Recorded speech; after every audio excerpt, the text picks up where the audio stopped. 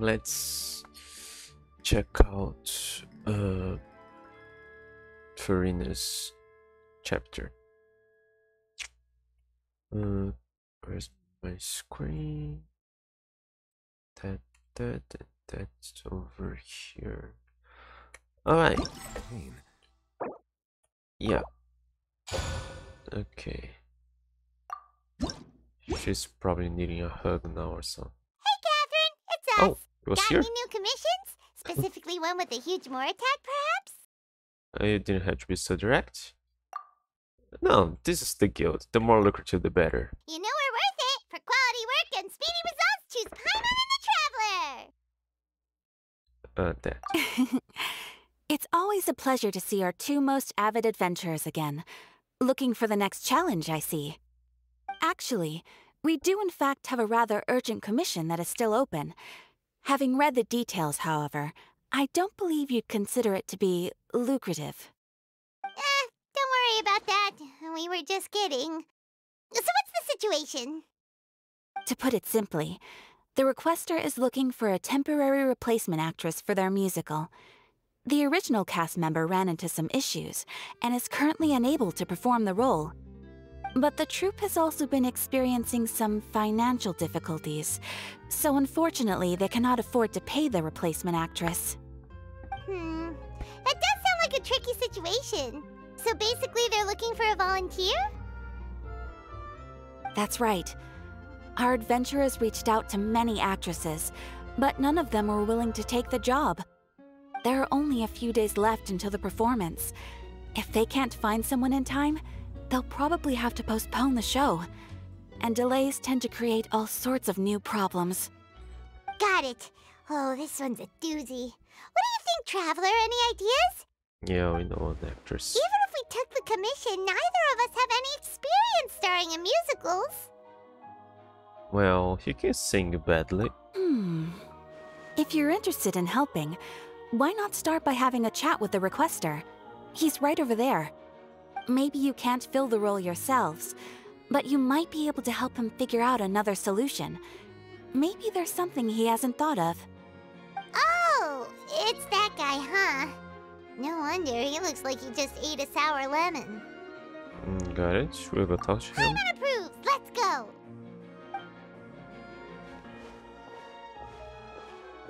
Hello there, are you the guy looking for a new actress? Wait, I know you two. Are you really willing to act in my musical? Wow, sounds like we're pretty famous in Fontaine already. uh, but to answer your question, neither of us have any experience in musicals. But we heard that you're in a bit of a bind, so we figured we could at least try to help you think of a solution. Ah, I see. It's okay. I knew that asking for a volunteer was a long shot. If we can't find someone to step in, we'll have no choice but to cancel the show. It would be such a shame. Yeah, I know they are famous, but I didn't really clicked yet that they're really famous in Fontaine. They just dethroned their god in front of everybody. Yeah, can't you cover the budget for a new actress with the ticket fees? That's the thing. We're not some high profile theater troupe, just a group of amateur enthusiasts. All our sets and props are very crude. We're grateful enough just to get an audience, never mind ticket fees. If we had a way to make this profitable, things might have turned out differently. But now, it looks inevitable that we'll disband. Disband? You're splitting up the troupe? Oh, I guess the lady at the Adventurers Guild didn't tell you? Yeah, this is supposed to be our final show together as a troupe. One last show. And after that, we go our separate ways. So we were really hoping to end on a high note. Nobody wants things to just fizzle out. Not after all the time and effort we've invested into it. Catherine mentioned that one of your actresses can make it. Yeah, the leading lady, in fact. She's been dealing with a chronic illness ever since childhood, and unfortunately, it flared up again recently. It really drains all her energy, so she's in no state to perform. The show just won't be the same without her. But for everyone else's sake, I still hope we can find a way to hold the performance on schedule. got it. We have a clearer picture now. Uh, let's see if we can come up with any ideas. Uh, what if we sponsored the show? Um, Traveler, how much more are you carrying? Uh, please, there's no need to go that far. I wouldn't feel right asking such a huge favor. And I can't promise that we'd ever be able to pay you back. Mora isn't the biggest problem. How do we find someone who's a good fit for the role? Hmm, good point. If the actress just goes through the motions for the Mora, that's not exactly rescuing the show. We should find someone who will put on the best performance possible. Hmm. Oh, wait! What about. You know who? Great minds think alike. I was just thinking that. That's how you know we're the best of partners. Anyway, she should have all the free time in the world right now. She's really good at performing, and she was once super popular with the crowd. Performing in a musical should be a piece of cake for her. Who are you thinking of? Sounds like someone famous. Furina. Her? You're... That was a joke, right? Uh, nope. Paimon doesn't actually know if she's performed on stage before, but Paimon's pretty confident that she'd be really good at it. You're not wrong there. She has actually performed in a number of big-name shows before. They were one of the reasons she was so popular. But even if she's no longer the Hydro Archon, it's not like she's suddenly a commoner. She's still an idol to many people in Fontaine, including myself. I just think Lady Furina might feel a bit out of place in an amateur troupe like ours. Everyone should be a bit tired of performing by now. Would you want the show to go ahead, don't you? Are you prepared to do whatever it takes? No. Well, yes, but... But... Huh. Fair enough. I mean, if she was actually willing to, then of course I'd be honored to have Lady Furina star in our show. I'm sure the rest of the troupe would be delighted too. I'm sure everyone in our troupe has probably dreamt of performing on stage with her one day. Of course, it all depends on whether she's interested. She might consider this opportunity beneath her. No point in stressing about that. We'll only know if we ask her. And besides, things are different now. There's no reason for her to be all high and mighty anymore. Yeah, did you explain to the people of Fontaine what happened? Because the Traveler and Neuvillette know what was like for Furina. But for the other people at the court, they just knew she was lying. Let's go. It'll be good to check in on her anyway. Thank you for your help. I guess I'll just stay here and wait for the good news. Good luck. Wait, where does Furina actually live nowadays? She used to live in luxury at the Palais Mermonia, but she's, uh, moved out, right? As it happens, I have her current address here. I can provide it to you. Woo! When did you get here? I came over when things were starting to sound more promising. I thought I should be at the ready in case my assistance is needed. It is my duty to support commissioners in any way I can. Does Thank you, ma'am. Thank you so much. Well, now that we've got the address, we'll go find Furina. Back in a jiffy. Alright. Little oscillate. Oh, Exactly. But none of them believed me. I can't believe they're seriously asking Lady Furina. Seems a little over the top. Try not to worry. May I pour you a glass of water? Okay, where to? Oh, it's nearby. Oh.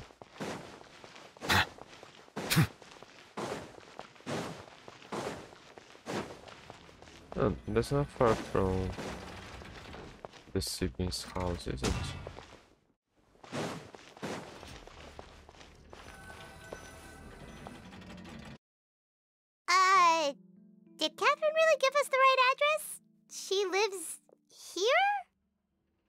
Wrong?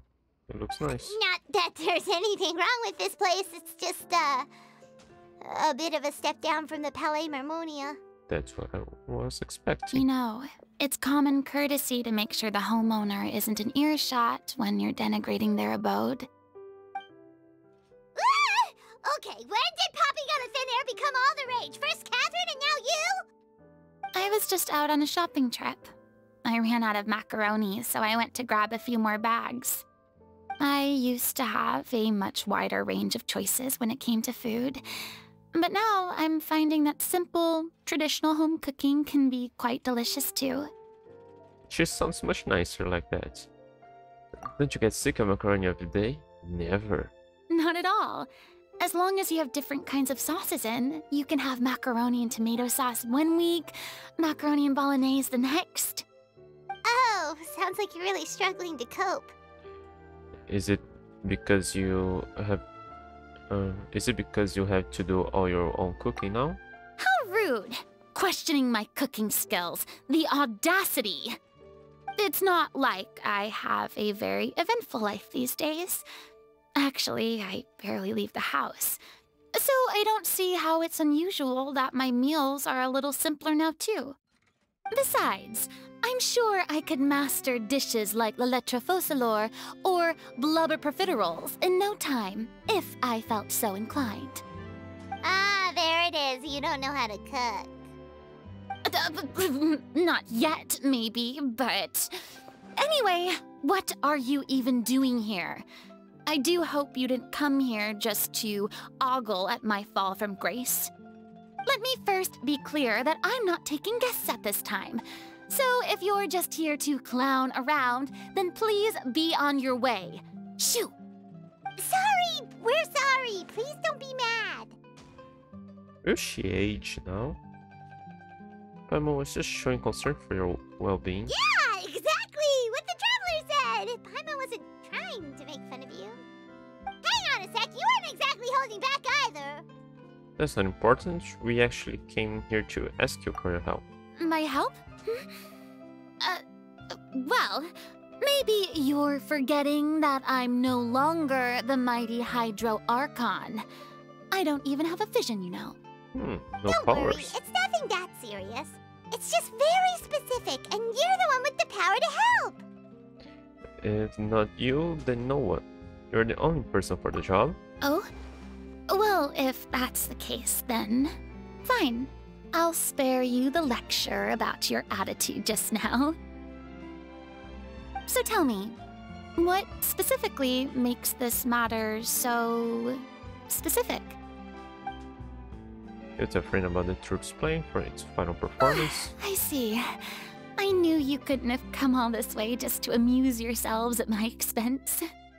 After all, I was once the brightest star in all of Fontaine, well versed in all the various performing arts.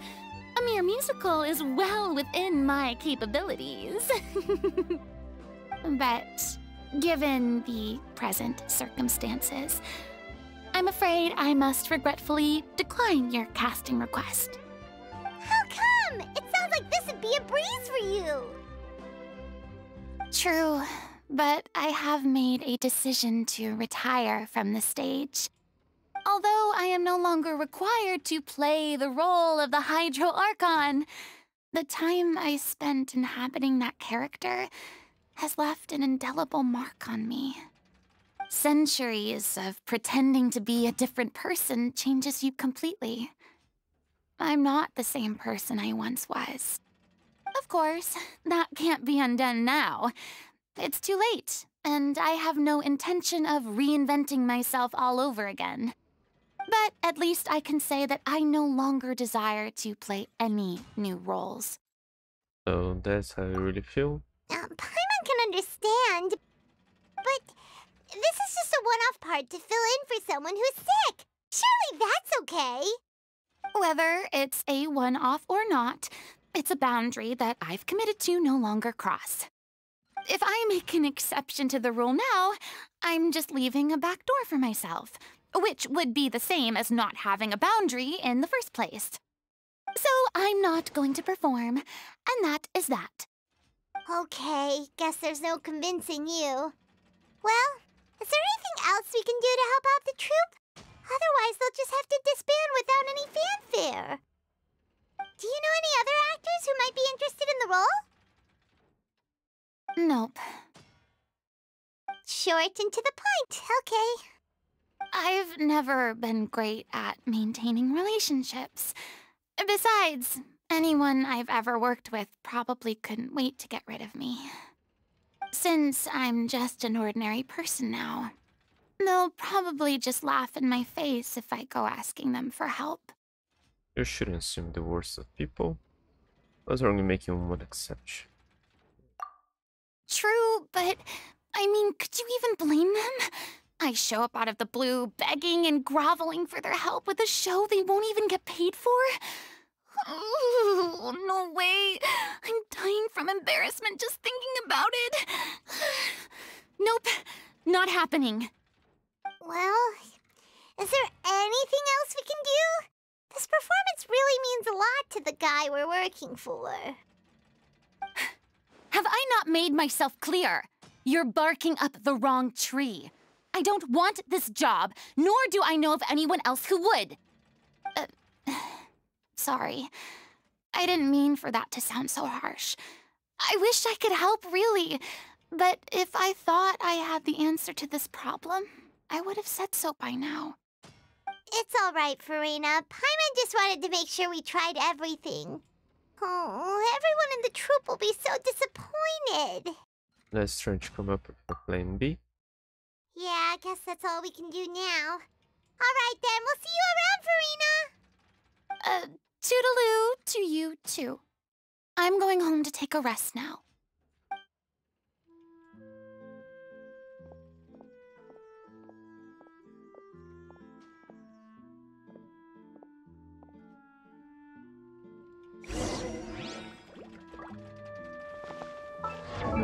No, no, no.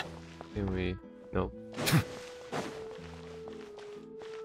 It's too bad, but we have to respect Furina's decision. Hmm, maybe the thought of performing brings up too many painful memories now. There'll be an extra fee. Huh? What's going on? Are they arguing?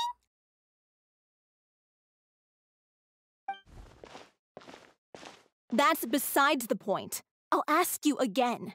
Why did you start looking for a replacement without my consent? When did I tell you I'm going to take a step back? You didn't need to say it. We've known each other for how long now? We know the signs. But you never tell us about your illness, even when it's clearly flaring up.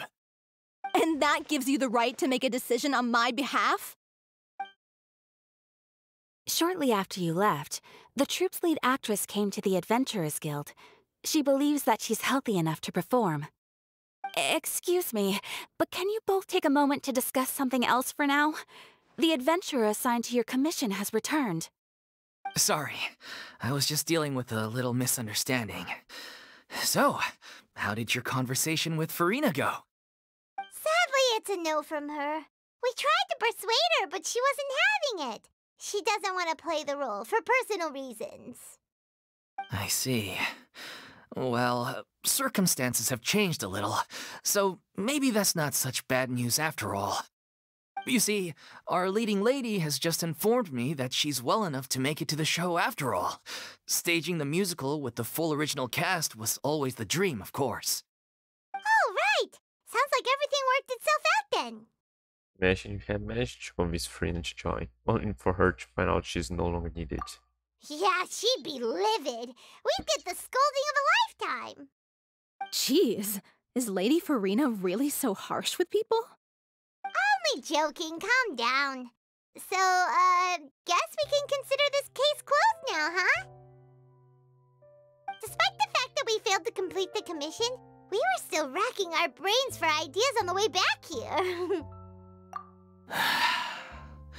Look, there's no point arguing with you about this anymore. You've made yourself very clear, so I'll stop looking for a replacement. This is the last chance we have, though. If your illness flares up again, there won't be time to find anyone to replace you. So, are you absolutely sure you'll be able to handle it? The whole team is putting everything they have into this final performance. We have to make sure it goes ahead. Yes, I'm completely confident. I've been taking a new medication from the doctor, and it's working brilliantly. I'll definitely be able to tough it out until the performance day. I share everyone's desire to commemorate all our years as a troupe with a proper farewell show. So the last thing I want is to be left out. Every one of us thinks of this troupe as their home, myself included. You're right. I'm sorry. I let myself get too worried about the show. I should have asked for your permission first. All's well that ends well. Sounds like the show will go on. Ramo, wait a second. Uh, sure.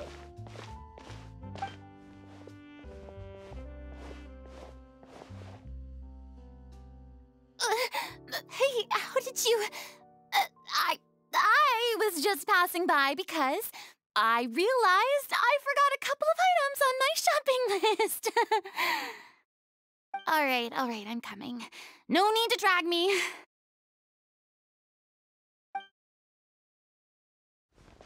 Uh, ahem. Hello, one and all. I couldn't help but overhear your conversation just now. Furina? Didn't you say you were gonna take a rest at home? What are you doing here? I I was just ever so slightly concerned about the situation you mentioned. Yes, a teensy bit concerned, that's all. When you came to talk with me earlier, I jumped right to explaining my position and said some strongly worded things. And all before I even had a full grasp of the situation. Anyway, I just feel a bit bad about how it went down. I'm sorry, Paimon. Oh, it's totally fine. Paimon didn't take any of that personally. Then why didn't you just show yourself? You really have a knack for asking the most uncomfortable questions, don't you? I felt very sheepish, having had a change of heart after flatly refusing you. And then, to make matters worse, you caught me. But in any case, it sounds like the issue has already been resolved. Yeah. When they said they were gonna ask for your help, I almost had a heart attack. I mean, how could we be worthy of having Lady Furina star in our show? There's no need to think like that, and no need to keep addressing me as lady. Just Furina is fine. I was wondering, if this troupe is so important to all of you, why does it have to disband? If the difficulties are purely financial, then there must be a solution. You could put the shows on pause while you look for a sponsor, for instance. Everyone seems so devoted to the troupe. I'm sure if you keep chipping away, you'll find a way through. we all want to believe that, but some things are just beyond our control. Everything's been going downhill ever since we lost our director. She was the heart and soul of our troupe.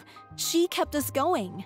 Hmm. Her name was O'Reilly, and she was the founder as well as the artistic director of our troupe. And tragically, she was a victim in this serial disappearances case. What? That's actually how I recognized these two. It was all thanks to their efforts that the true culprit was brought to justice. but still, no sentence can bring our director back to us. She was a loyal fan of your performances, Lady, uh, Miss Furina. They were what first inspired her to get into musical theater.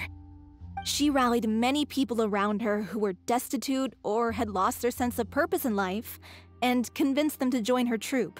She wrote her own scripts, acted on stage, and mentored each and every one of us. People loved our performances back then. We seemed to be going from strength to strength. Things were really looking up for us. And then disaster struck. Yeah. After that, the entire troupe fell into disarray.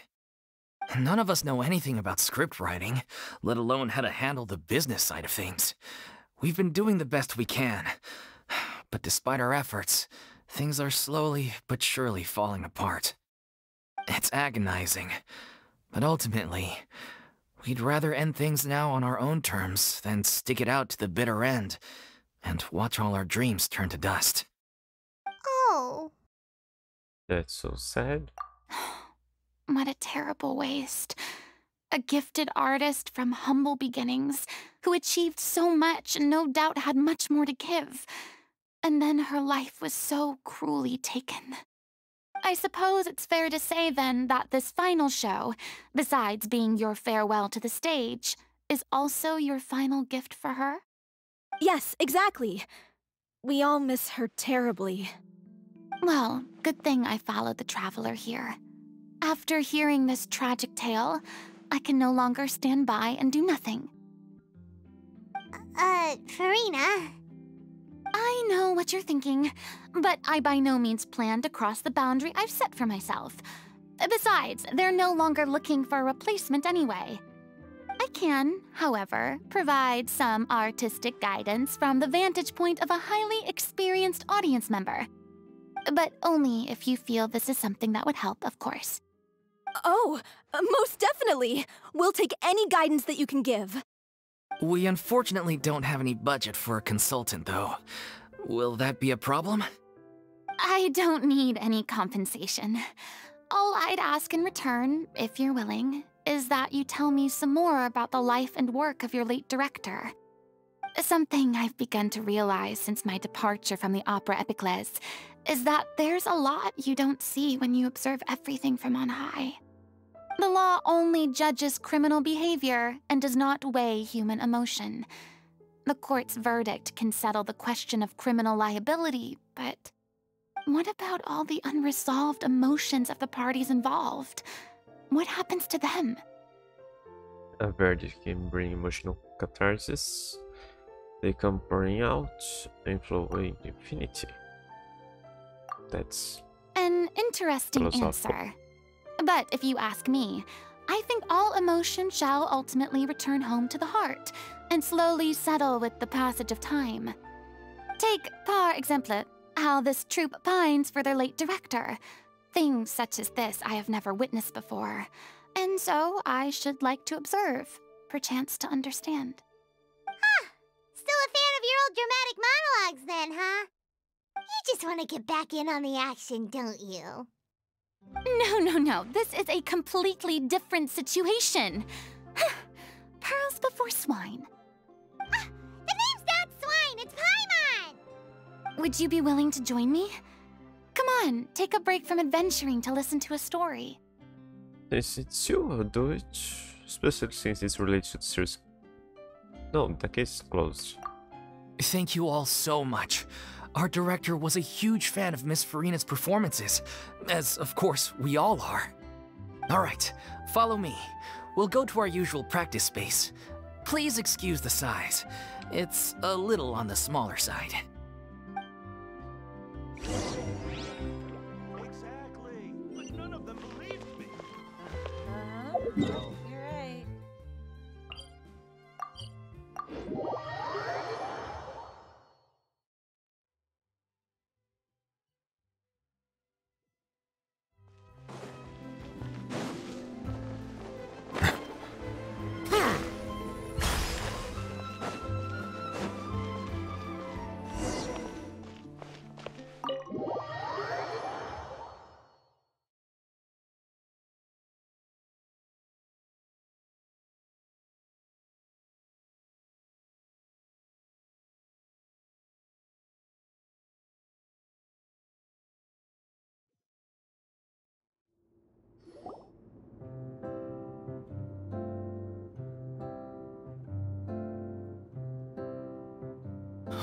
Lady Furina?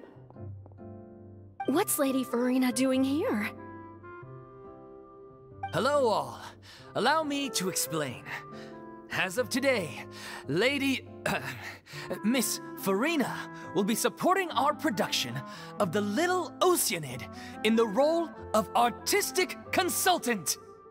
These two over here are the ones that made it possible. They kindly reached out to Miss Furina on our behalf. I'm sure they need no introduction. You bet! That was the trial of the century!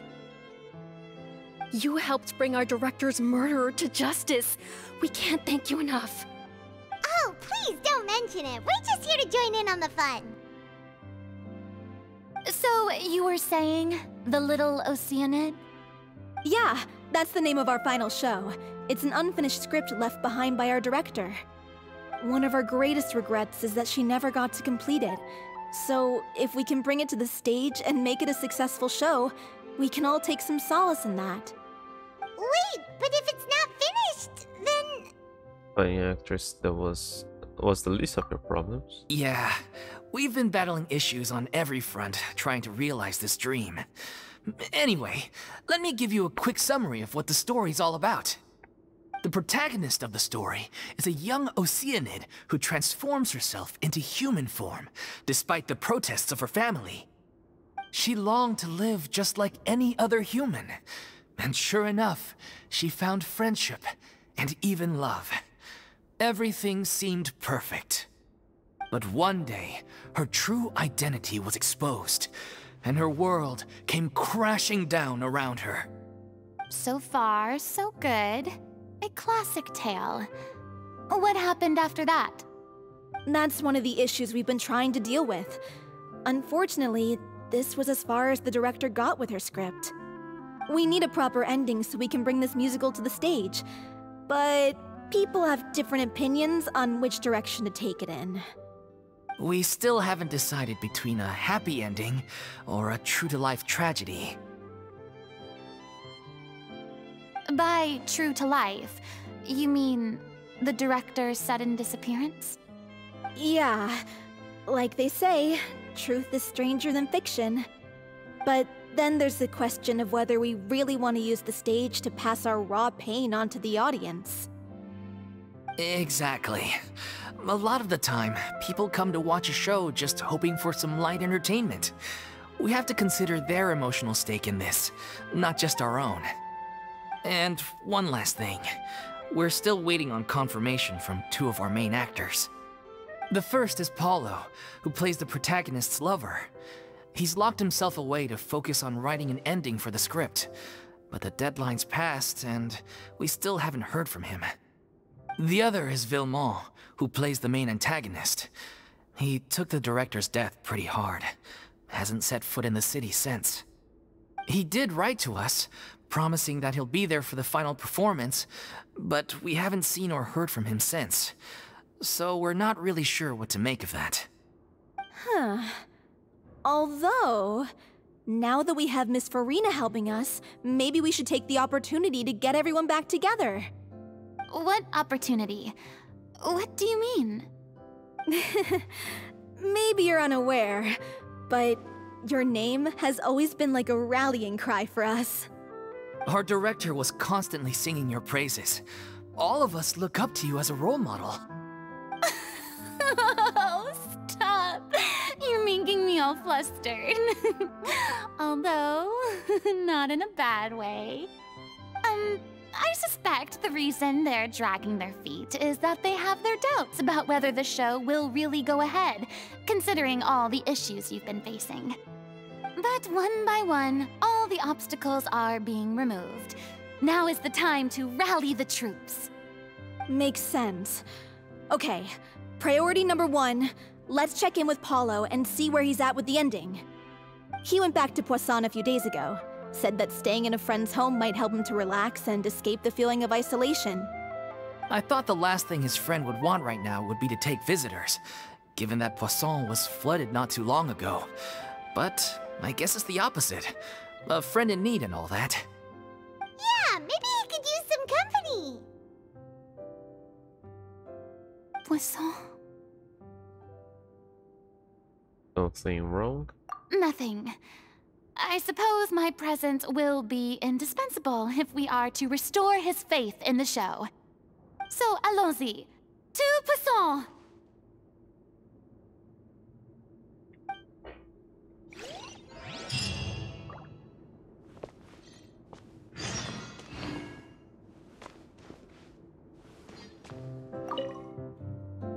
You're off to Poisson to find Paulo, right? Have a safe trip. We'll take care of the troop while you're gone.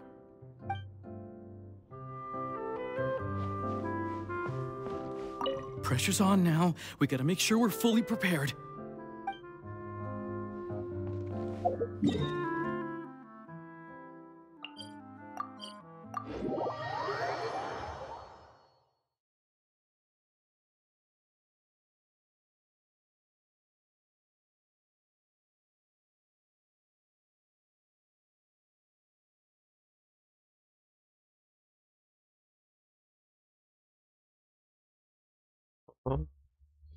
Taking too long.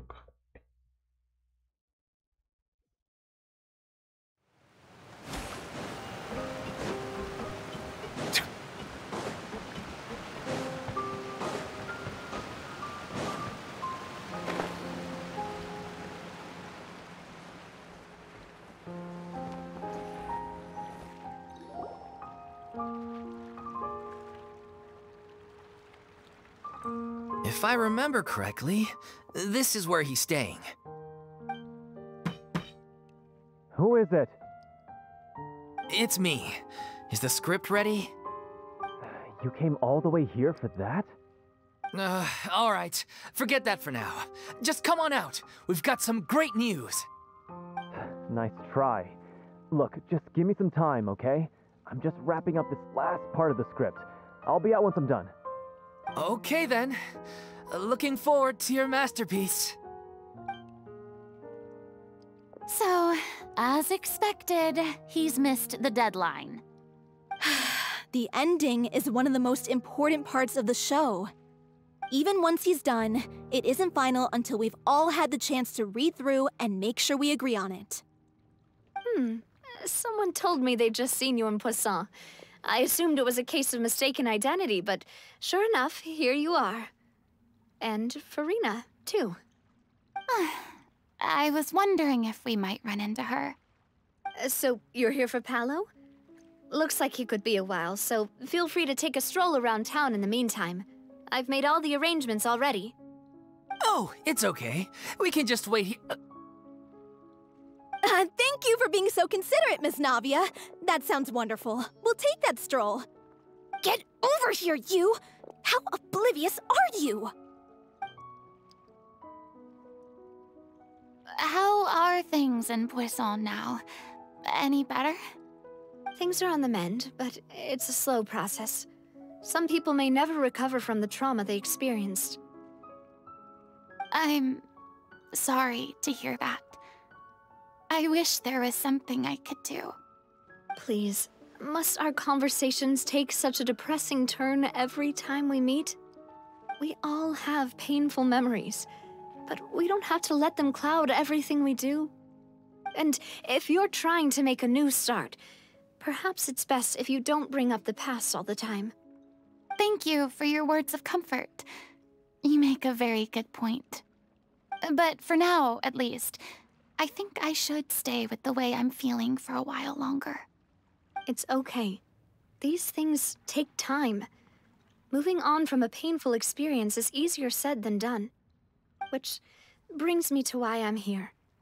I thought you should probably know that not everyone here is ready to forgive and forget after the Hydro Archon's inaction in the face of catastrophe. To avoid upsetting the peace, I told the townspeople that everyone here is a member of the theater troupe, and that you are just an actress playing the role of Furina. It's not a perfect solution, but hopefully it means you won't have to lie low while you're here. That's so thoughtful of you, Navia. Well, what do you expect? I am the courageous and considerate president of Spina di Rosula, after all, like my father before me. Anyway, that was all. Look after her now. Got it. Off we go then. Let's take a look up there. I don't have any friends that I can be frank and honest with, so maybe she's right. You're the closest thing to friends that I have. Mm, should be a bit closer.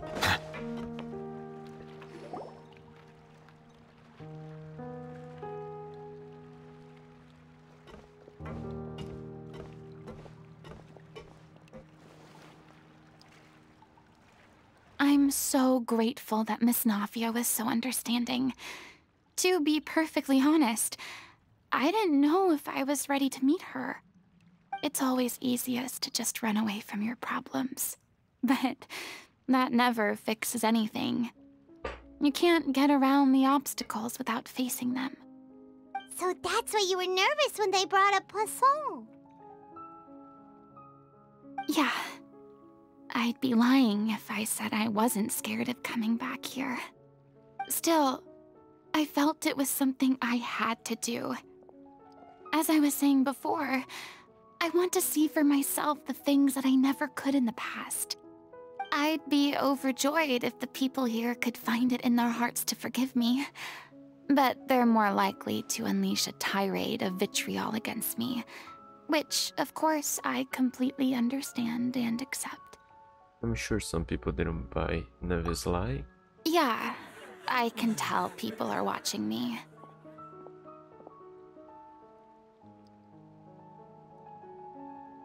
I'm sure some people here see the idea of someone coming to Poisson dressed as the Hydro Archon as extremely disrespectful. I used to be terrified of the gaze of other people, especially when they had suspicion or resentment in their eyes. I guess I wasn't quite ready for this after all. I'm not surprised you're making yourself go through all of this. Maybe you're taking on a bit too much in one go. Me too. It's not like you. No. I can't let myself see only the things I want to see.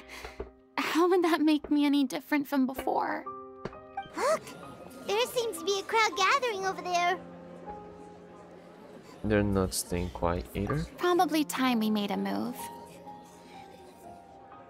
How about we check out Spina di Rosula's ship?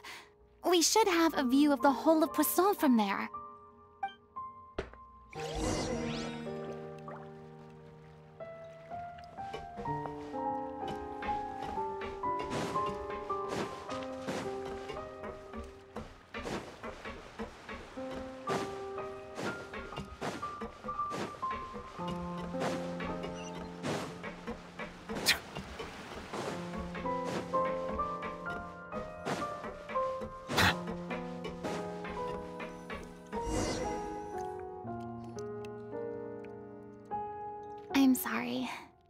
probably just wanted a relaxing stroll. And here I am dumping all this heavy stuff on you. We don't mind. It's actually refreshing to see a different side of you. Great. Well, I appreciate your company, so please don't disappear just yet. I don't know whether you can tell, but the years of suffering and loneliness aren't the only reason I have a hard time facing up to who I used to be. As I stand here by the ship, I can't get the images of the rising water out of my mind. One after another, people were taken by the water. All those treasured lives and memories washed out of existence in an instant.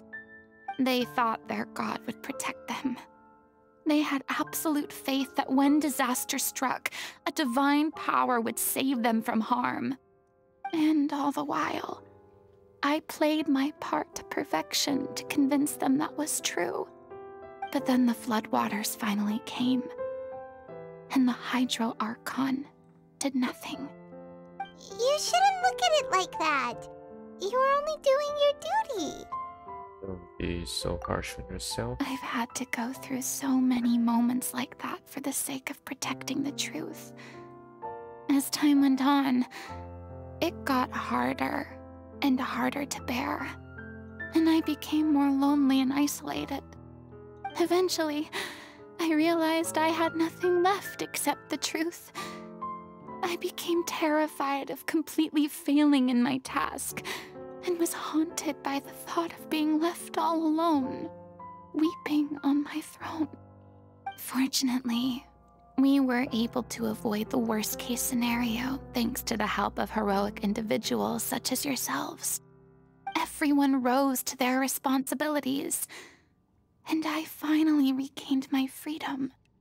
But on some level, freedom also means no longer being needed. I have no further use to people. Hmm. Paimon would have never imagined you'd see it that way. Think of your freedom as your reward. A reward? Because now you can finally speak your heart. You don't have to be so anguished and and alone anymore. I guess so.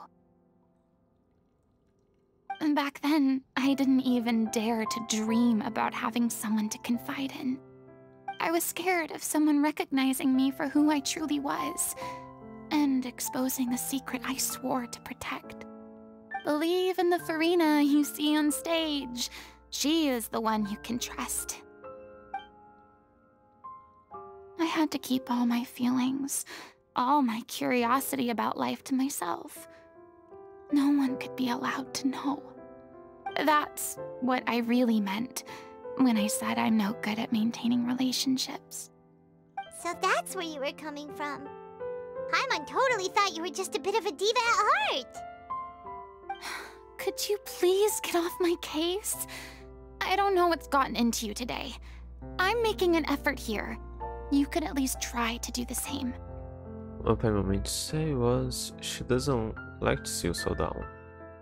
You feel better having gotten all this off your chest? I do. I once had nothing but the truth, and now I'm finally free to live my own life again. And even though I have no idea where I'm going right now, at least the choice is in my hands. All right, it's about time to head back. Paulo should have finished the ending by now. Sure. Okay, let's head back and check it out.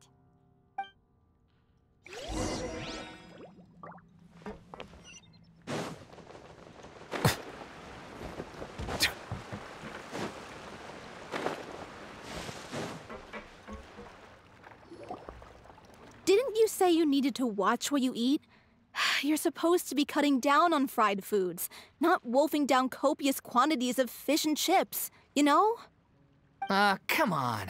It's not every day we get to dine at Spina di Rosula's expense. Can you believe how generous she is? I'm not about to pass on free food. Anyway, my character doesn't need to be slim and good looking. That's your job. Are you kidding me right now? It's not your character's health I'm worried about, it's yours. I've spent my whole life battling the effects of ill health, and it kills me to watch you willingly ruin yours by filling yourself up with junk all the time. Oh no, looks like they're arguing again.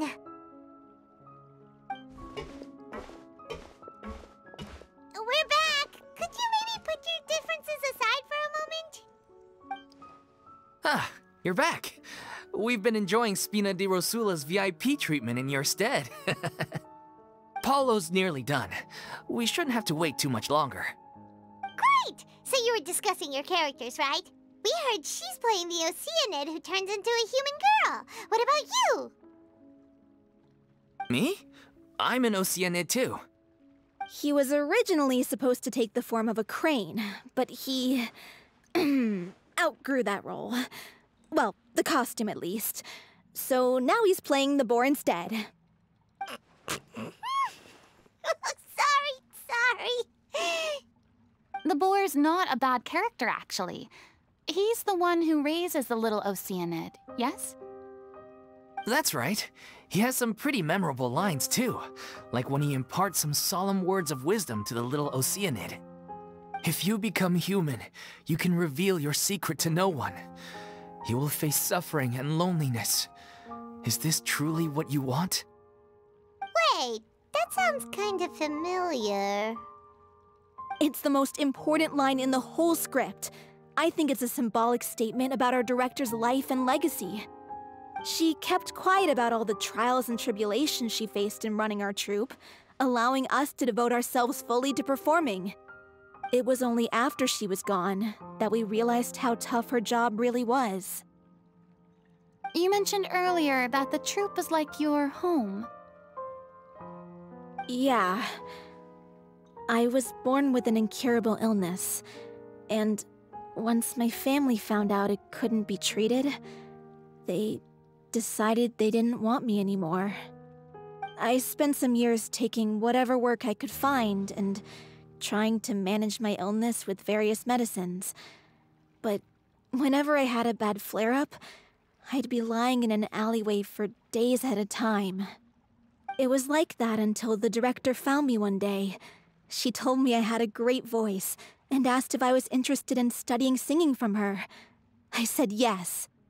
She took me under her wing, taught me to both sing and act, helped me find Mora for my meds, took care of me when my condition decided to flare up. I know it was all a huge burden on her. She sounds like a really incredible person. She really was. She gave everything she had to her troupe and the people in it. All of us were so proud to call her our director. I was a lost child too when she found me. As the child of a murderer, my parents weren't around when I was little, so I got sent to an orphanage. The other kids were always picking fights with me. They'd say things like, Come on, you must be pretty tough if you're the son of a murderer. It was just to taunt me, though. I was an easy target, and they knew it. One day, I got beaten up so bad that I just couldn't take it anymore, so I ran away. I lost all faith in humanity by that point. Thought the whole world was out to get me. Hmm, let me guess. Fortunately, the next person you ran into was the director. Yeah. For the first time in my life, I was somewhere I felt safe. And I promised myself I'd stay here until the day the group parted ways. The day you hoped would never come. How times change. Oh, you're finally done? Get your butt over here. There's someone I need to introduce you to. This is our new artistic consultant, Miss Furina. Furina? The Furina? Oh my god, how did you manage to wrangle that?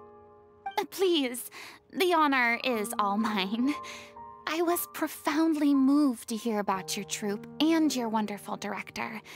I just wanted to do something to help. Same here. Even so, this is just. Oh, wow. I'm sorry.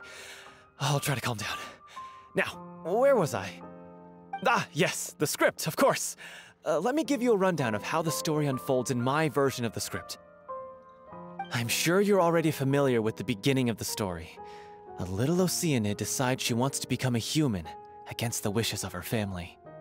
She finds love and friendship in the bustling city. But then, disaster strikes. The people start to notice that all the fresh water in the surrounding area is slowly disappearing. The soil is becoming arid, plants and flowers are withering, and the people begin to panic. The little Oceanid, Cleo, and her lover decide to do something about it and investigate the truth of the matter together. In the end, they discover that all the waste and pollution created by humans over the years has caused the fresh water to flee the land, as if driven by a consciousness of its own. Consciousness? You mean the water is sentient? Water as a conscious entity. There's actually quite a few stories that explore this theme. Since the little Oceanid is a water spirit, she immediately understands how the water is feeling. She then tells her lover about her true identity, as well as the truth behind the crisis. Her lover accepts her for who she is, and works with her to find a way to bring the water back. However, unbeknownst to them, there were some people eavesdropping when she revealed her secret. The little Oceanid is accused of being directly responsible for driving the water away, and faces the greatest dilemma of her life. And then? In the end, she makes the brave decision to sacrifice herself to save her lover and the rest of humanity. Huh? But didn't they all treat Cleo like a villain? Why would she want to save them after that? Well, she mainly wanted to save her lover, plus everyone who'd stood up for her. Through her love for her human partner, she was able to find an even greater love, one that extended to all of humanity. Surely the biggest strength of Cleo's character. There's actually something else that bothers me. You know the protagonist is supposed to represent the director, right? And she never had the chance to become a hero in our world. If we're serious about dedicating this show to her memory, we should make the ending as true to life as possible.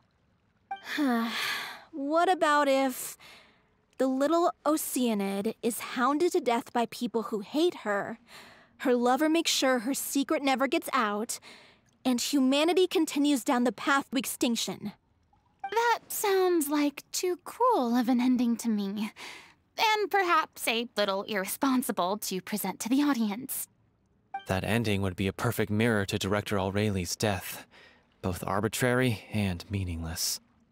On the day when she went missing, Director O'Reilly had instructed us all, somewhat out of the blue, to leave the court of Fontaine and wait for her outside the city.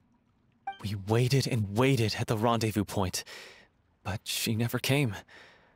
By the time we returned to the city, she disappeared without a trace. We looked for her.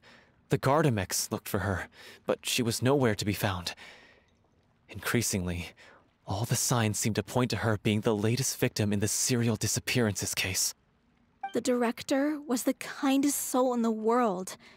Yet she was senselessly sacrificed for the sake of a so called experiment by someone who had nothing to do with her at all. Hmm. But doesn't the way she suddenly told you to leave the city suggest that maybe she had some sense of what was about to happen? It almost seems as if she was moving you to safety. I've been trying to follow up on that ever since, but all my efforts so far have turned up nothing. Villemont might know something, but he won't open up to me. Villemont? The one who's playing the role of the villain? Yeah.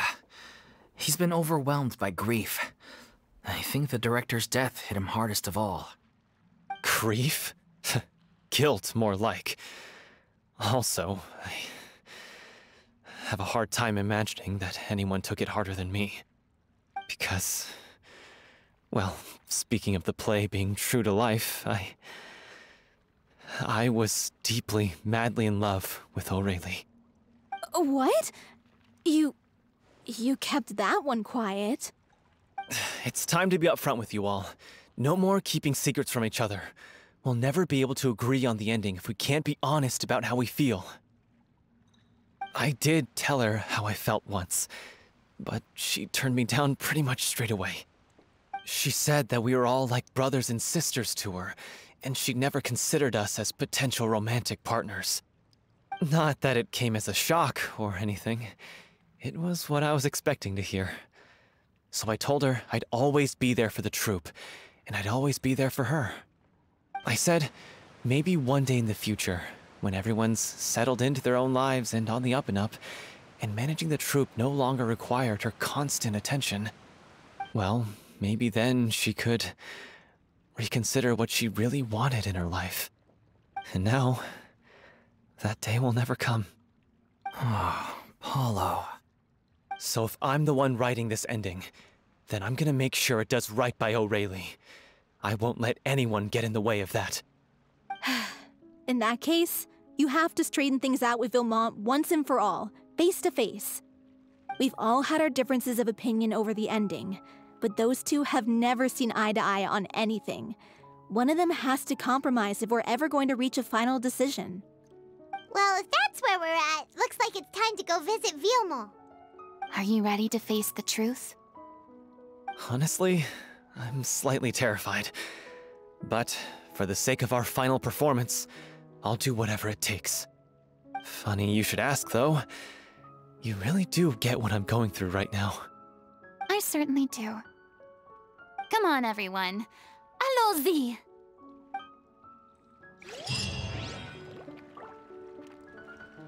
I thought we would run into trouble here.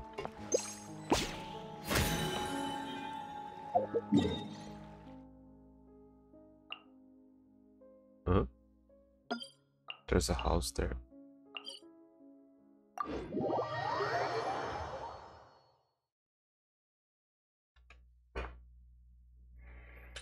Oh,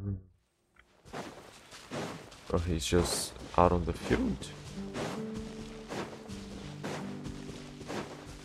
Uh, this is tough going. Uh, Delphi, are you sure you can manage in your... Ah, come on, what's far?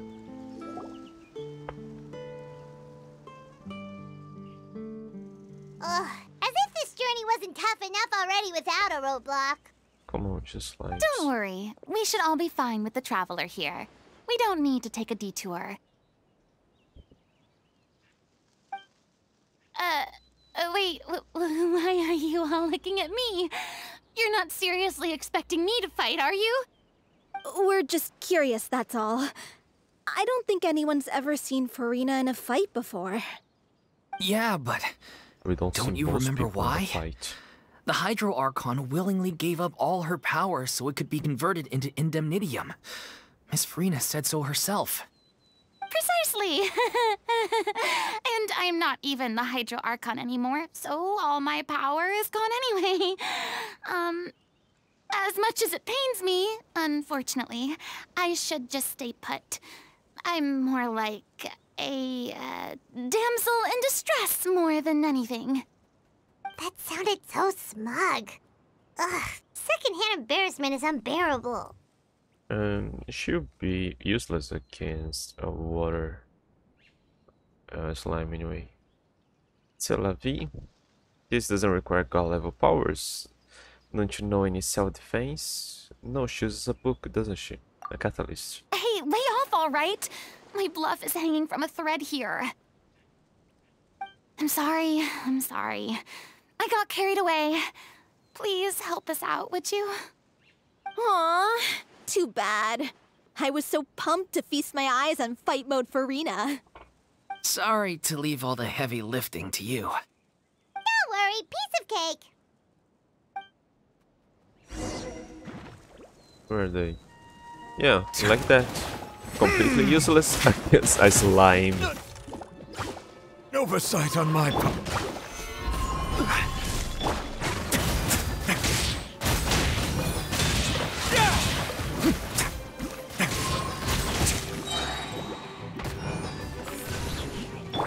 Settle down. Be sanctified.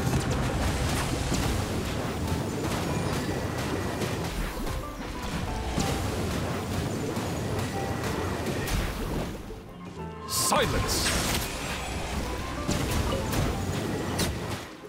Oh, more. I will have order. Crumble.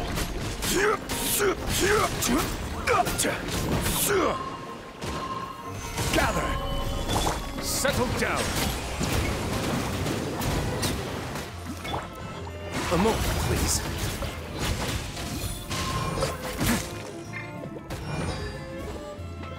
Bow your head. Bravo! Good show! You certainly live up to your reputation. Yeah, thank you. Anyway, the path is cleared now, so onwards and upwards.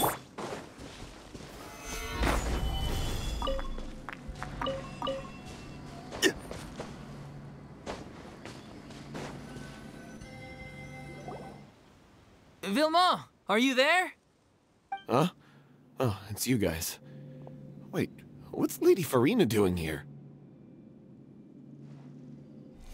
I can explain. We've been rounding up the whole troop. We now have everyone except you. Sophie explains the whole So, sequence of events. you think knowing the truth about the director's disappearance will help you write an ending to the script that pleases everyone? I care just as much as everyone else about making the Little Oceanid a success. That's why I wanted to wait until after the show. If I open this can of worms now, I, I just don't want to make things difficult between us. We're supposed to be a unit when we're on stage. Viamant, avoiding the truth will not help anyone. Unless you mean to suggest that Aurelie's death had something to do with you. I don't want to talk about it. Listen, Viamant. I used to think that my love for Aurelie was a point of shame. I never brought it up to anyone. But now, I've made up my mind to put it all on the table. I'm prepared to face everything, to sacrifice everything for the sake of the show. The Little Oceanid cannot be complete unless we do justice to Aurelie on an emotional level. This is why people think of you as not being the smart one. As you all know already, the troupe was kept afloat not from ticket sales, but donations from the audience. Of course, that was nowhere near enough. We took on side jobs when we weren't performing, but even then, the troupe's financial situation was pretty dire. So, anyway, one day after a show, a merchant came to me and offered us a huge sponsorship. In return, we just had to provide the audience with their drinks during performances. It seemed like a win win, so I said yes to it on the spot without consulting the director. It was only when the merchant came to deliver the goods that I realized the drink in question was Sinthe. Isn't that the drink peddled by the culprit behind the serial disappearances case? I remember that induces a state of euphoria, but it also causes significant harm to the body. I, I freaked out when I saw the boxes. And I told the director everything right away. She was completely shocked as well. But she didn't reprimand me for making the decision without consulting her. Instead, she contacted the merchant and stated that the troupe could not agree to this collaboration. The merchant was furious, berated us for going back on our word, and threatened to sue us for damages. The amount was astronomical. There was no way we'd be able to pay. And then? I was going to sort it on my own, but the director stopped me. She said that this was an issue for the whole troupe and it wasn't my fault. Was the Sinthe illegal by But then? things only got worse from there. The Sinthe merchant just wouldn't let up, and then suddenly the director told us all to leave the city one day. I knew then that things must have reached a boiling point. I admit this whole thing was my mistake. I didn't dare to tell any of you the truth back then, and after the director disappeared, I was even more afraid to say anything. So we, you had a clear suspect of her disappearance. You brought the director's uh, attention of the Sinthe dealers. Your mistake gave them motive to kidnap murder her. Yeah, I got Aurelie killed. There, I said it. Happy now? Hey, don't say that. You traitor! You knew Aurelie was in danger. Why in God's name didn't you tell us? What do you mean, you were afraid? This was a life and death situation. We could have saved her! How could you be so stupid? Please, try not to get too worked up. Yeah, listen to him. You need to stay calm. Stay calm? How can I stay calm? This guy got Aurelie murdered! She was the love of my life! And he has the gall to try and high road us, claiming that he kept his mouth shut for the sake of the show! How about taking some responsibility for what he's done? All I can say is I'm sorry. Truly. I wanted to apologize to everyone in the troupe, but that won't bring back the director. What good is my apology now? I'm just a coward who made an awful, terrible mistake that I can never take back. Beat me up if you want, kill me if you prefer. It's what I deserve. End my life so I can meet the director and apologize to her in person. Get out of my sight! Go! Get lost! I don't ever want to see your face again! That's enough! You've screamed and shouted at each other for long enough. Now pipe down, both of you! Can you stop conflating the show on stage with your real-life relationships in the troupe? You keep saying that you want to use this final performance to pay tribute to your director and celebrate her life. How can you do that if you're just using it as an excuse to vent your own emotions? You're right. I'm sorry. On stage, the lead role is the focal point of the audience's attention.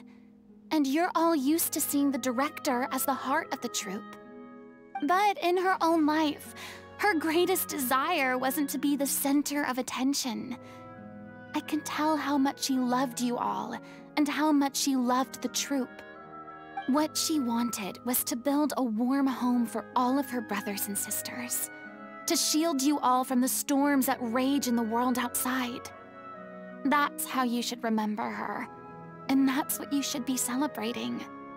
I understand why you're trying to make her the hero of the story, but isn't she your hero already? After everything she did for you? Yeah. So think hard about what that means. And then think again about what you hope to achieve by arguing with each other. If you really hate each other and can't reconcile your differences, then you could just call it quits now. Why bother with the final performance if the group is already fractured? But you can't bring yourself to do that, can you? You care too much about Director Aurelie and the home she built you all to let go. what are you laughing at? I don't see what's so funny. Sorry, I didn't mean it that way. It's just that, for a moment there, it, it felt like our director was back with us again. If she'd seen Paulo and Villemont at each other's throats like that, she would have scolded them exactly like you did, in that same stern voice. Really? But she sounded like such a gentle person. Of course she was. Even her harshest lectures came from a place of kindness, and it showed. She really was a truly outstanding person. I. What you said, it really puts everything into perspective. I'm truly sorry. I really meant for this to be a genuine apology, but I ended up making it all about me and my self pity. It's all right. Let's save all this for after the performance. So, the ending. What are we gonna do about it? Clearly, everyone needs to take a step back for now and reflect on what really matters. When emotions are running high, things get lost in the fray. The end of the story needs to focus back on Aurelie herself. She's the true star of the show. May actually be possible to find out more about her. What do you mean? The Traveler is right. You once investigated that underwater Sinthe base and recovered items belonging to the victims. If you could find anything that Aurelie left behind, uh, perhaps we can get a better sense of what she went through in her final days. You really think that's possible? I trust that nobody would object to the ending of the story being based on Aurelie's true feelings. No. Well, we'll leave this in your capable hands. Come, let's pay a visit to the Palais Mermonia. The rest of you, head back to the rehearsal location for now and wait for our good news.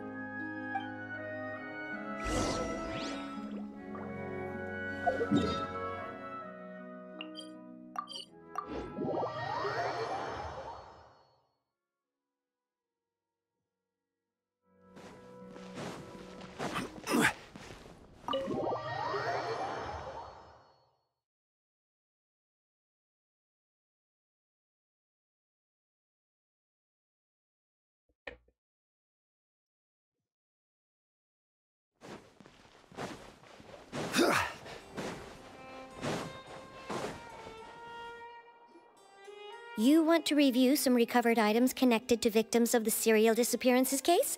But, um, that case has been closed for quite a while now. Still, since you were the ones who discovered and submitted the evidence in the first place, you don't actually have to submit an application. okay, please hold on. I'll have someone dig them out. That's a weird policy. Sitting senses that member shortage box. So, this is all Aurelie left behind. Just whatever she was carrying on her person and this tattered old notebook. Hey! It's full of script lines! And sketches too! Looks like they show where the different props should be placed on stage. Let me take a look. Maybe there's something in here from after she was kidnapped. Hmm. Aha! I found something. To whoever discovers this diary. Let's see. Looks like she kept a detailed record of her captor's actions. She even mentions the truth behind the experiments on dissolving young women. If we'd had the chance to examine this notebook carefully back then, it would have been a conclusive piece of evidence proving Vacher's guilt. Vacher took so many lives. It's still so unthinkable how many victims he had. I guess Aurelie must have written all of this down in the hope that her records would one day be of use to investigators. Uh, wait, it cuts off. Nothing's wrong. Her handwriting here gets patchier and more illegible by the line. She probably didn't have much strength left. Her final words are. I'll let you read them for yourselves. Come on. Um, someone else was taken. That makes six. Or perhaps the seventh. Someone tried to escape yesterday but was caught. She hasn't been seen since. Uh, was that yesterday? Maybe not. I've long since lost track of time. Sorry, I don't know if writing this is of any use or how much longer I can do it for. I can already see my fate approaching, but what terrifies me even more is the thought of seeing others from the troop here. Have I truly protected them? Sorry, I'm so sorry. I can write no more. I think I have a fever and my old stomach troubles have returned, but nobody has given me medicine. I suppose I am now more fortunate than Cressy. The pain keeps her awake all night. I suppose they think that anything goes so long as the experimental subjects can be used up before they die. It is so damp here, I have given up her my blanket. So cold, so cold, so cold. As long as one persists, all things will pass. There will be a reward for hard work. I like to tell them such things, but it is I who am losing my grip. If anyone sees this, troops safe. I damn important. Please farewell, apologize, life, perform, future, regret, Cleo. Uh, this page has is an absolute mess. A writer's pen seems to be wandering its surface at random. Only some words can be made out, and barely at that. From this page onwards, the diary stops, to be replaced with a with lyrics from music, musicals. Some are in the form of newspaper clippings, others in, are handwritten with many crossing out and changes. It is apparent that the pages have been referred often and that this was personal notebook of artistic director Aurelie. She was so terrified. She watched a girl get so right in front of her and had to wait for her own death in silence. She may have been a mighty hero in the eyes of her troop, but at the end of the day, she was only human. I can't bear to think how painful and lonely her final days must have been. Uh, wait. This part on the last page sounds strangely familiar. Living through the notebook, the lyrics continue, however, one page has been torn out, folded up and placed next to the last blank page. At the bottom of the folded note are two new lines Aurelie has written, handwriting much more legible than before, but it seems that they took her both great efforts and a great deal of time to write. You become a human, you can reveal your secret to no one. You will face suffering and loneliness. Is this truly what you want? Because I am an older sister to them. I love them. If you become human, you can reveal your secret to no one. You will face suffering and loneliness. Is this still what you want? Isn't that the most important line in the Little Oceanid? Because I am an older sister to them. Oh. So she didn't regret her decision, even as she sat in silence, waiting for death to come. I'm sure this is what the troop would have hoped to hear as well. She had their utmost trust, admiration, and love, and she truly deserved it. Let's go. It's time for them to learn Director Aurelie's final thoughts.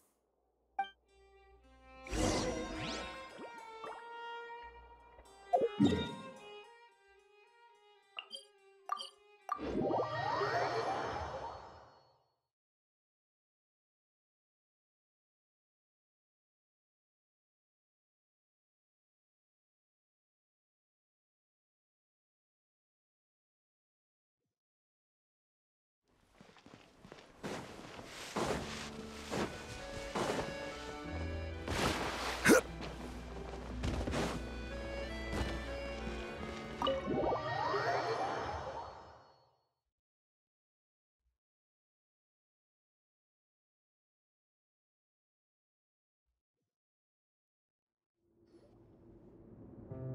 After reading through the notebooks, some are lost for words, some weep bitterly, and some grind their teeth and howling with rage.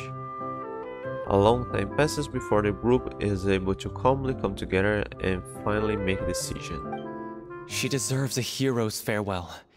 If that's the only way to convey to the audience the courage and selflessness that she showed in the face of death, then it's a meaningful way to end the story. Even in the last moments of her life, she was still leaving a trail for others to follow. She did her best to protect as many people as possible, even if it meant sacrificing herself. We know what choice our little Oceanid would have made now. I don't think any more discussion is necessary.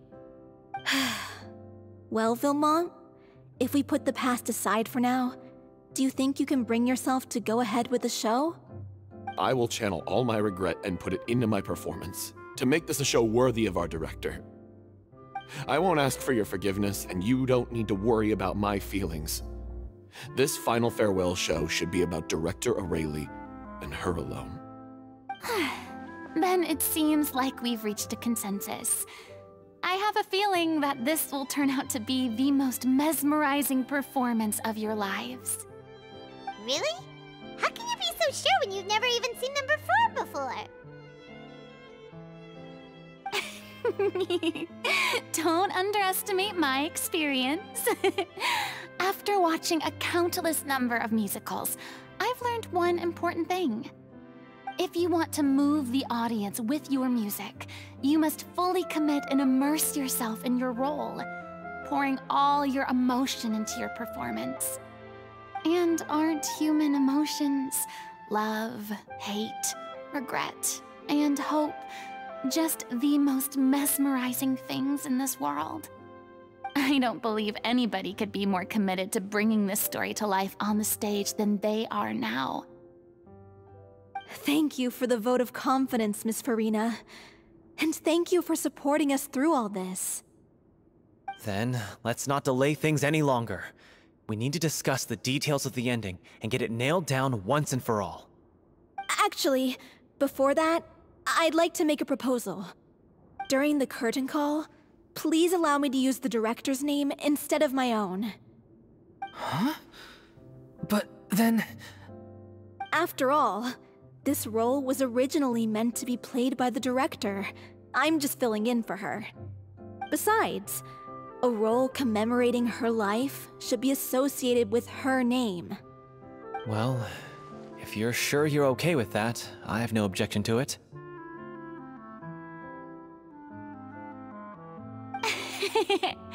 now we're talking like a serious acting troupe. All right, I'll leave you to fine-tune your musical while I go and procure a stage. Procure a stage? They didn't have one? I thought they had one already. Oh, it's okay. Our usual place doesn't need a reservation. That place? Oh, don't be silly. For an extraordinary show, we need an extraordinary stage. By which I, of course, mean the Opera Epiclese. Whoa, wait, what? No, no, no, no, no. That's never going to work. It's far too fancy for the likes of us. What are you afraid of? Surely you don't think that Aurelie's story is unworthy of the grandest stage in Fontaine. no, though that's not what I meant. It is supposed to be your grand finale, right? Believe in yourselves. Go big or go home. oh. I have no problem with it then. How about the rest of you?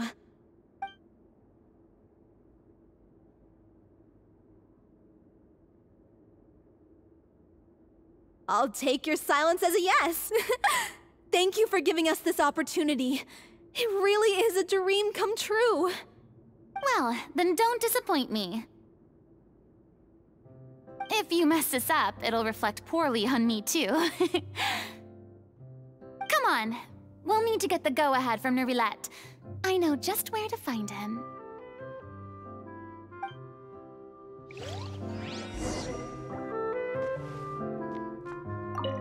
During the final scene, maybe we should stop the music just before Cleo takes the stage?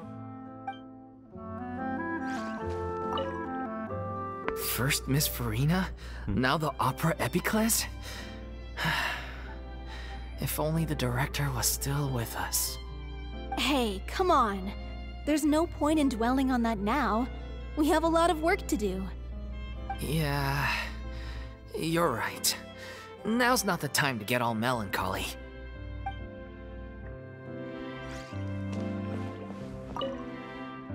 Best of luck to you.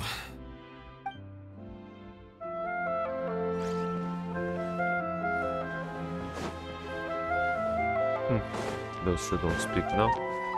Ah, Neuvillette's probably back there. But he's the one we should talk about booking the opera. I know we share it with the courthouse, but that doesn't think, seem to fit his. Uh, oh. His. Hey, look at that! Looks like I guessed right. You were just guessing? Doesn't seem to fit his job description to book the, the I opera knew you'd be here. I'm here merely for a short break. It has been a while, Miss Furina. And you too, Traveler and Paimon. What might I assist you with today? I would like to book the Opera Epiclese for an event. You see... You should start a little Sandy novelette along with the I backstory. understand.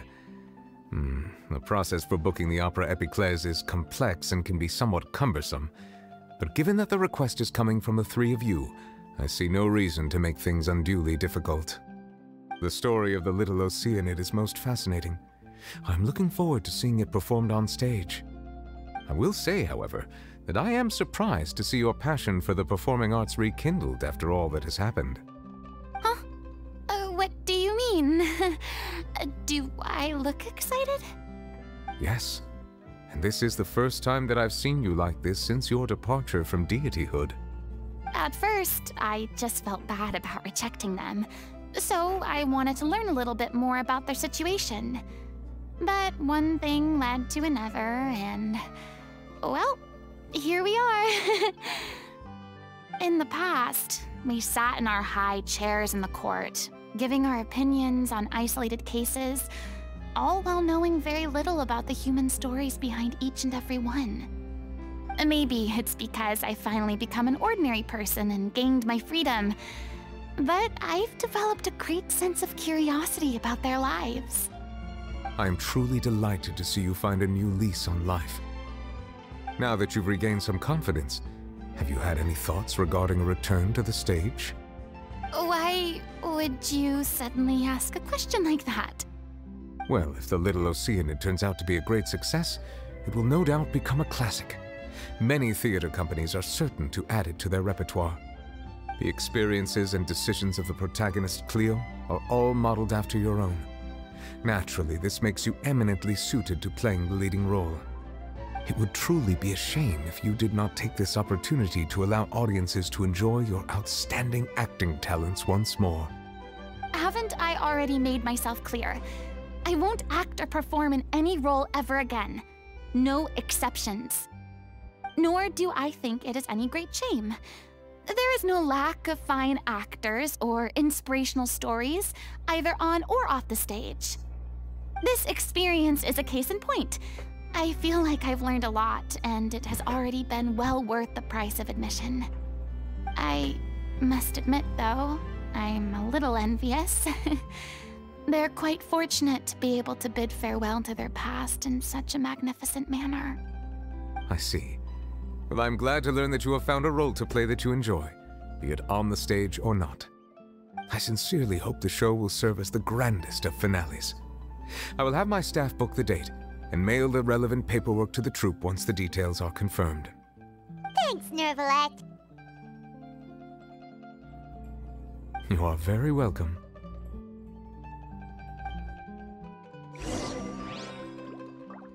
Yeah. Many people were once enthralled by Lady Furina's performances, myself included. I hope that one day she'll be able to understand that our appreciation was always sincere.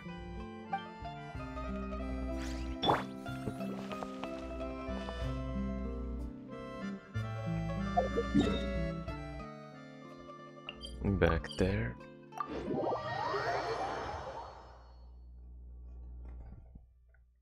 Hmm.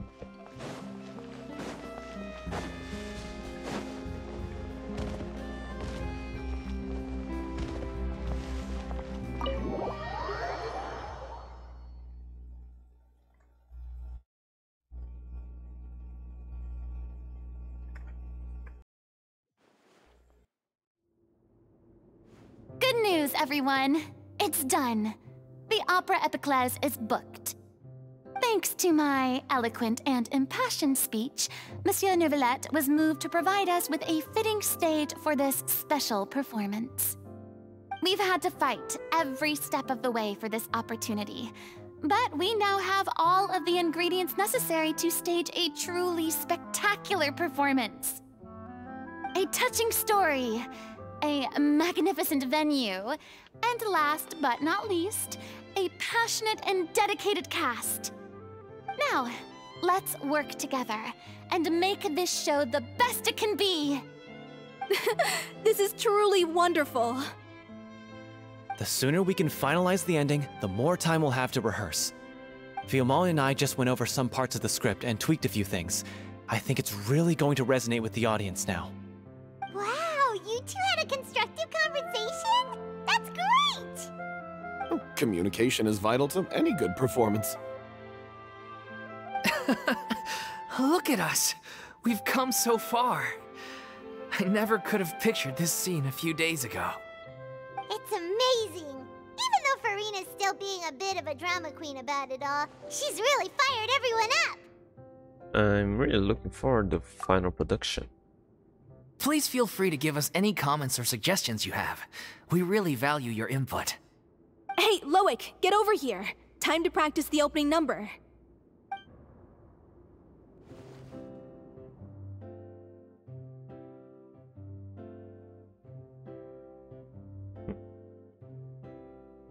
Uh, it's loading. I thought we would have a cutscene with the the show at the opera.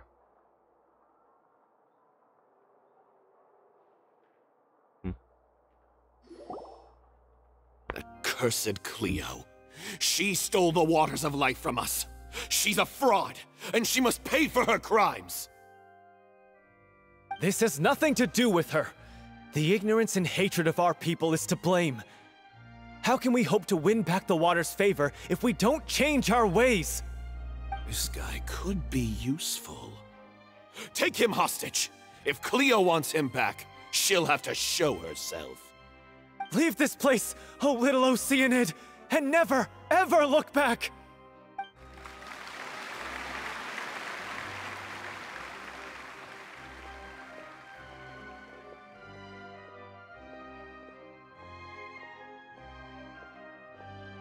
Everyone's really throwing themselves into their roles. I haven't seen such a fine performance in a long time. if only. What should we do? It's almost time for her to take the stage! Why? Why does it have to be now? Hey, what's going on? You're due on stage any second now. Oh no, not again. But why? What about your new meds? Did they stop working? They've been getting less and less effective over time. I've had to keep increasing my dose. What? I thought they cure it. So they were only managing your symptoms? I figured whatever it took to get me through this final performance. How could you do this to yourself? And after that lecture you gave me about not looking after my health. I'm sorry. I've let everyone down. You... this is a conversation for another time. How can the show go on without its star performer? Uh... Miss Furina?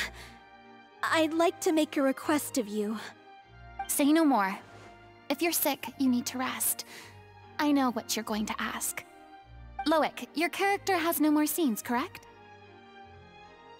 Oh, uh, yeah. I think my scenes are all done. Although, I do have one more line. But I guess another guy in the troupe with a similar voice register could take it. Why? Please take Delphi back to her place to rest. I'll sing the finale. From the sublime to the ridiculous. After all that, everything's come full circle. Thank you, Miss Furina. I'm so sorry to put you in this position after everything you said. Never mind. What's done is done.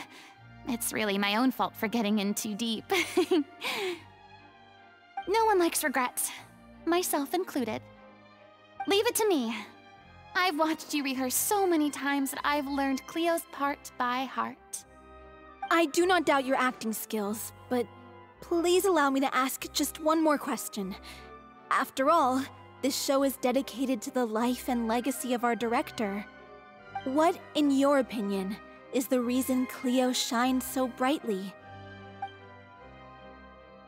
It's her pure heart. Despite all the pain and loneliness she had to endure, she never once stopped believing in the beauty in this world. Well said. I leave Director Aurelie in your hands.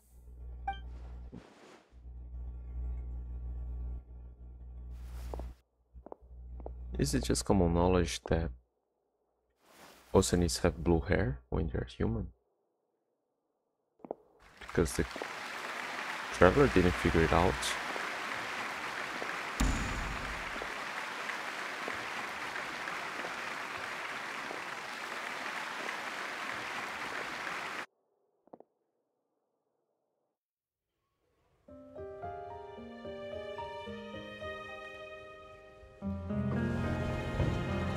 Is she here yet?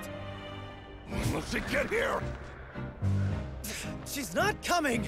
You're wrong. She's here.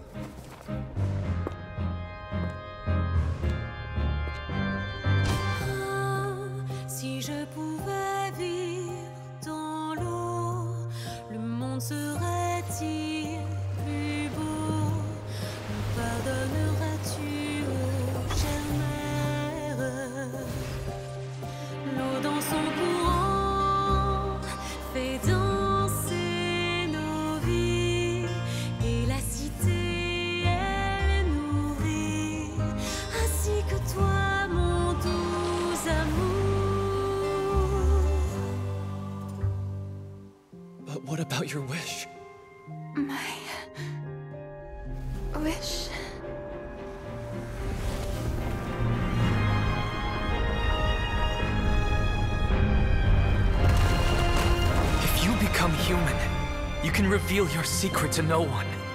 You will face suffering and loneliness. Is this truly what you want?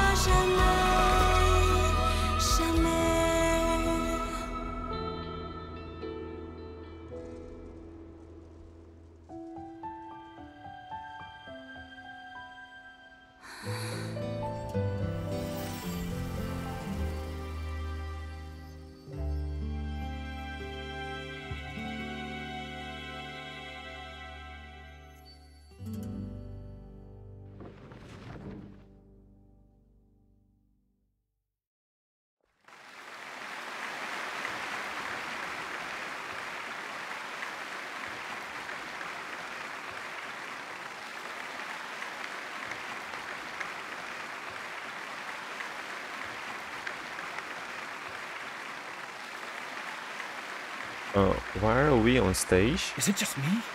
Who was that Lady Furina on the stage just now? She hasn't been seen for a while now, and she just appears out of nowhere? Gotta say, though, Her acting skills are as superb as ever. The little Oceanid, Cleo, played by Aurélie Fumont.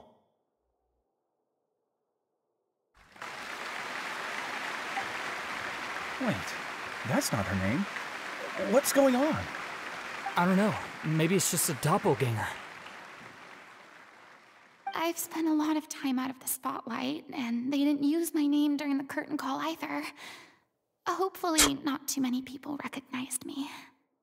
It's too bad that I had to break the one clear rule I'd managed to make for myself, even if I had no choice. Still, I have to admit that, despite everything, it felt good to be back on the stage again. Finally, we would like to give a special thanks to our artistic consultant and event coordinator, Miss Furina. Hey, that's not what we agreed on! Oh, so it was Furina after all. She's back. Uh, honestly, what is he doing? He should have run that by me first.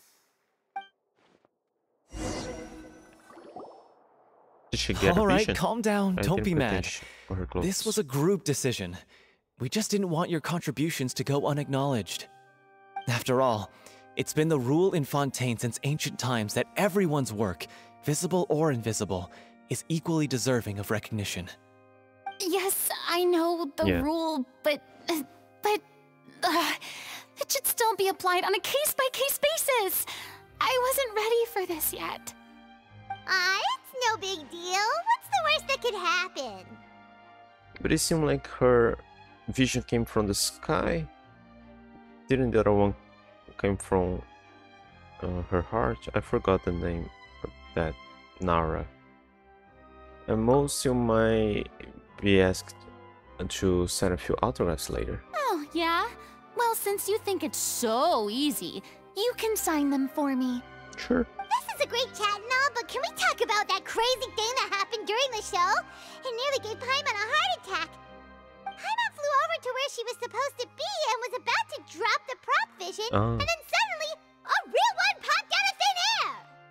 Oh, uh, that. I've got no idea what happened there either. But hey, it worked pretty well, didn't it? I'll bet the audience has never seen such a realistic prop. Wait, what about Dolphy? I wonder how she's doing. Oh, uh, let's go check on her as soon as we finish clearing the stage. Yes. Plus, she'll definitely want to hear how the end of the show went. If nothing else, we can safely say that we accomplished what we set out to do.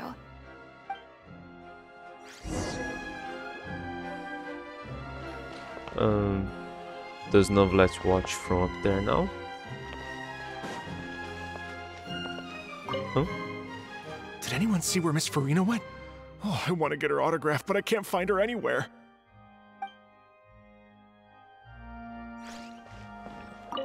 I thought Cleo's actress sang very well. Why did they swap her out at the end?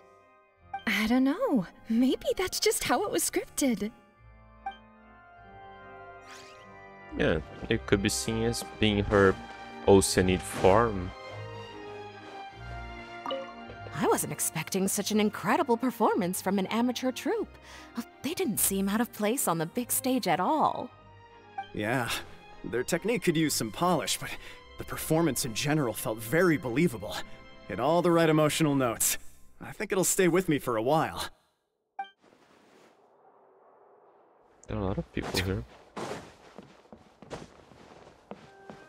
Ah, but I can talk to her about it. Okay. what a surprise! Seeing Miss Furina on the stage? This ticket was money well spent. Yeah, I agree. Say what you want about her, but she's flawless when she's on stage.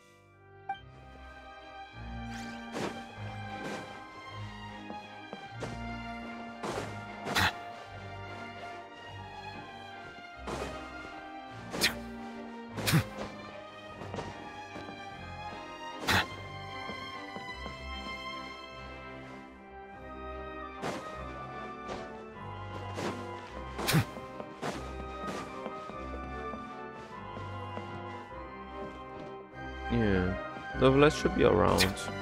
He said he wanted to see the the piece. Nobody's here anymore. Alright, let's go back there. Do they all live there?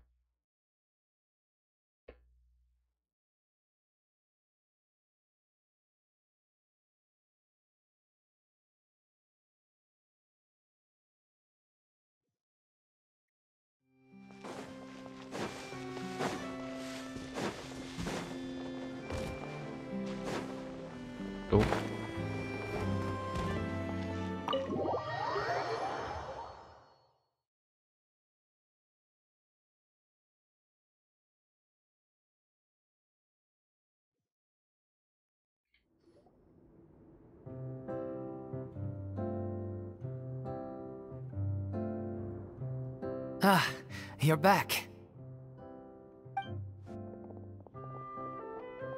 She's doing okay.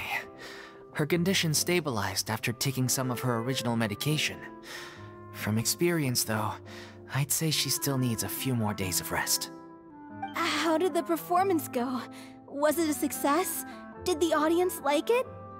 You'll be glad to Also, you're not gonna believe what happened while Furina was on the stage. You'll probably be able to read all about it in the Steambird first thing tomorrow morning. That's wonderful. I'm so sorry I failed to see it through to the end. I guess I was wrong to try and tough it out to begin with. No, don't worry about it. Like they told me after announcing my name during the curtain call, everyone's work deserves recognition.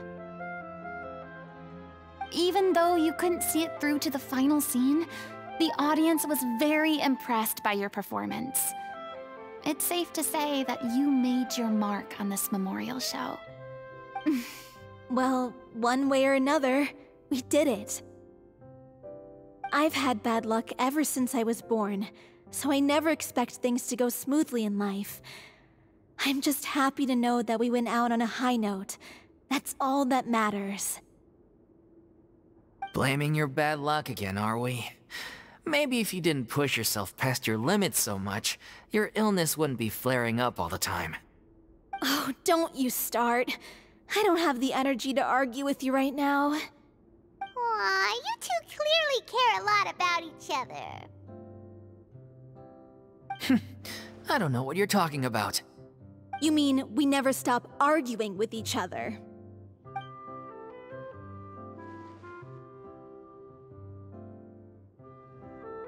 So, any plans for the next step? After the brilliant performance you put on, the reputation of your troupe is sure to spread through Fontaine like wildfire. You won't have to disband if you don't want to. You could capitalize on the rave reviews and license out the Little Oceanid to the bigger theater troupes out there. That would do wonders for your financial situation. No, we should still disband. Yeah, it's what we all agreed to. After all that's happened, I should give you guys some space. But maybe our paths will cross again one day. Hey, don't just walk off! Ugh. I still want to keep performing, so I might join another troupe. After watching Miss Furina's performance, I think I'm starting to understand our director's infatuation with musicals. You should do it. It suits you. I'd originally hoped to keep performing too, but I don't know if my health will allow me to. Oh, so now you finally got your priorities in order. I guess I'll hold off until you've properly recovered as well. What about you, Miss Furina? Any future plans? Well, frankly, I think a return to obscurity is no longer an option for me. I'm sure a slew of consultancy requests will hound me wherever I go until I finally acquiesce. You rather sealed my fate there with your special thanks at the end of the show. Sorry. It's quite all right. No need to apologize. What I meant to say is that this whole experience has shown me that perhaps I'm not as averse to a return to the stage as I'd previously imagined. Maybe Neuvillette was right. Maybe Cleo is the right role for me. I still don't wish to pretend to be someone else, but I do have a desire to express myself. So, maybe the show will go on for me after all. There's no need to draw lines in the sand. Just do whatever feels right to you. Yeah. There was once a time when I was an actress in a masquerade, seeking only to hide the truth. But from now on, I want to spend my time learning real stories about real people and how they touch the lives of others around them. I want to watch them blossom and wither, see them refined on the page, retold on the stage, and remembered long into the future. I'm sure this is what captivated director Aurelie as well. Sounds like you're ready to stop running from your true calling. The more you get out into the world, the more you'll discover what a fascinating place it is. Next time, I'll invite you to join me. then it's a deal. If a vision is a gift from the gods, then I should do my best to honor it. Um, wasn't the whole situation with her an issue with the current gods anyway? I'm just finishing packing up. As soon as I'm done, I've got an interview with the Steambird to get to. Thanks to all your help, this show was more perfect than we ever could have hoped for. But most of all, I want to thank you for giving me the chance to finally say farewell to Aurelie.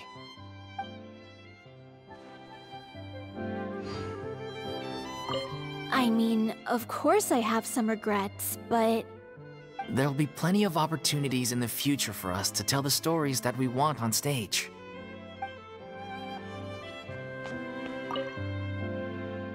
Now that the buzz is worn off, I feel ready to pass out.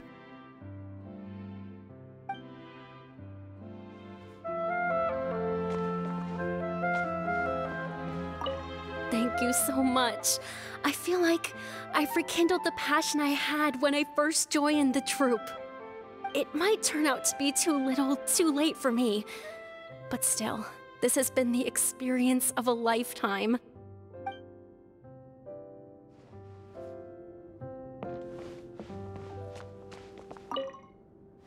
It's ironic to think that in my whole time as a god, I could only ever dream of receiving this kind of power. And now that the gods have given me their blessing, it actually feels more like I'm finally able to take my fate in my own hands. Is. is that how humans feel about it as well? Hmm, I don't know. I think the visions may not actually be a gift from Celestia. Let's try to get a Furina. How long?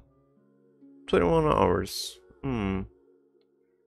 I didn't care much about her, but let's try. Twice. Good, once. Perfect. Uh, well, and right on time also, because I think it was today that I I maxed out my friendship with Neuvillette.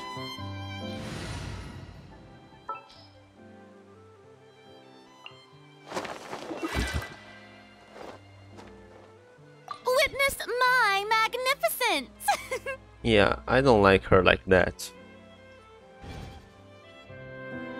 The Furina here today was much better than it's the whole Heart ironic quest. to think that in my and now that is Uh, yeah, but now we're missing that other guy. He's the only one we can speak to after completing it. Mm, I'm not gonna go all the way to. That wasn't his house. It was just a tent in the wild.